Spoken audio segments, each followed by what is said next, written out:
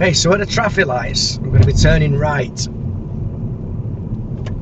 You probably can't see on the camera, but there's actually a big tram line to the right as well. Well, it goes straight across this junction.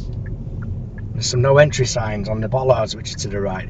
So I'm just going into the middle like normal. And there's light